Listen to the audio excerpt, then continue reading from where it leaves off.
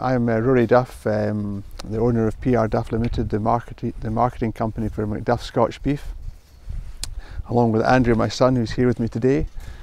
We're on one of our new member farms, um, John Marshall, um, from uh, it's near Strathaven in South Lanarkshire, south of Glasgow in Scotland. Um, and we're here looking at the cattle today. Behind me is some cows and calves, which are uh, the backbone of our, the Scottish beef industry. All these calves are uh, reared naturally on their mothers, um, unlike um, dairy beef, which comes from the, the dairy industry, a byproduct of the dairy, dairy industry. These calves stay on their mothers for nine months and are bred from beef cows and beef bulls. Um, as John says in his uh, uh, talk on the farm, the diet is very much grass based uh, which is what we market as being a natural natural eating, natural fodder for the cattle to uh, help the cattle fatten up and produce the quality beef that we market to our customers here in Scotland and in England.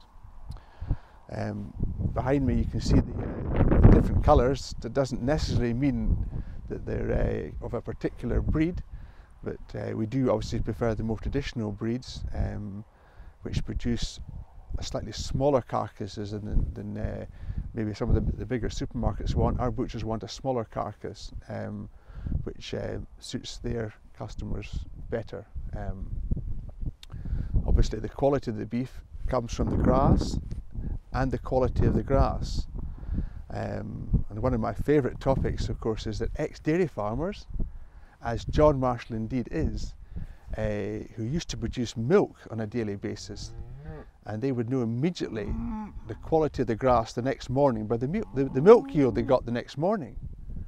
Uh, so invariably, ex-dairy farmers produce the best grass, which in turn produces the best beef. You can't produce good beef from bad grass.